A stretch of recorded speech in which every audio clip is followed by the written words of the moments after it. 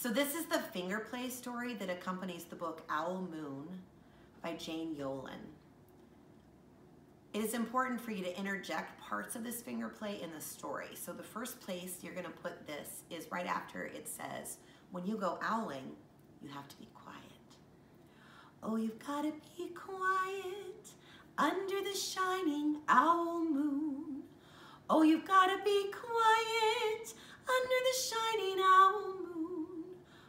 gotta be quiet under the shining, under the shining, under the shining owl moon.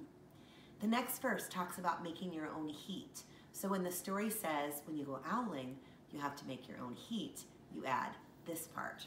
You gotta make your own heat under the shining owl moon. You gotta make your own heat gotta make your own heat and you've gotta be quiet under the shining, under the shining, under the shining owl moon. The third place you put the finger play is after it says when you go owling, you have to be brave. Oh, you've gotta be brave under the shining owl moon. Oh, you've gotta be brave gotta be brave. You gotta make your own heat. And you've gotta be quiet under the shining, under the shining, under the shining owl moon.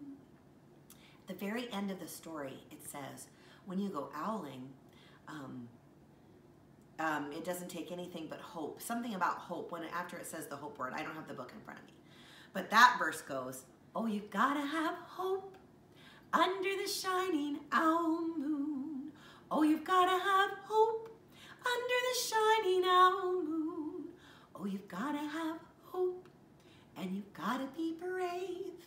You gotta make your own heat, and you've gotta be quiet under the shining, under the shining, under the shining owl moon. Some of those actions are American Sign Language, by the way. So again, there's just a little melody that you sing and you interject it in the um, appropriate spots in the book. Thanks.